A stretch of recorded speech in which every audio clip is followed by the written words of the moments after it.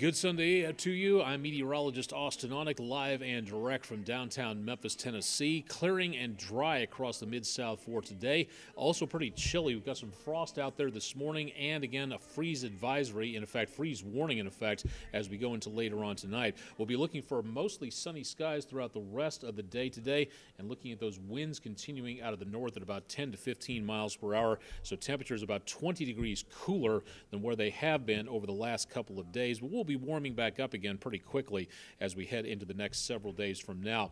Coming up later on this week, it's Safe Place Selfie Day. Your opportunity to take a safe place selfie in your safe severe weather spot. And more on that and your forecast coming up on News Channel 3.